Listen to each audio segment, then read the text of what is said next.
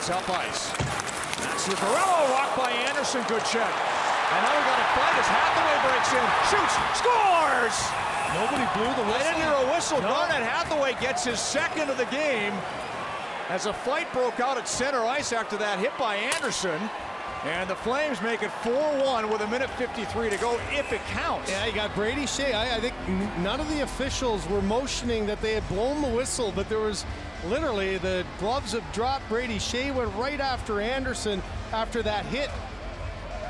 But Andersson didn't do anything. He just laid there. Giordano was on top of him, and after the turnover in the neutral zone there as Zuccarello got hit, you can see Hathaway just buried himself up ice, and he makes an absolute perfect shot. Here's the cross seam hit, and there was an instantaneous reaction by Skjei in all alone, and I'm not sure what Lundqvist would have been watching. He would probably be taking a little look yeah. and expecting it, but to credit Hathaway, he just continued on, and I did not hear a whistle anywhere, and it looks now like the goal is going to count and probably have a penalty after it.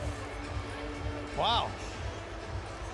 Well, that line really, they scored that goal that turned the momentum in the second. They've had a number of great shifts, and then Garnet Hathaway gets his second of the game in the season, and you can see the frustration in Henrik Lundqvist. Yeah, and it just left on his own. And there's a, just a great example of so often it's just the quickness of your release and the place that you put it. It wasn't a big booming slap shot. He just shot in stride and put it right over the elbow and up under the bar. And he's watching it now. Goes, wow! I can't can't believe what just happened there.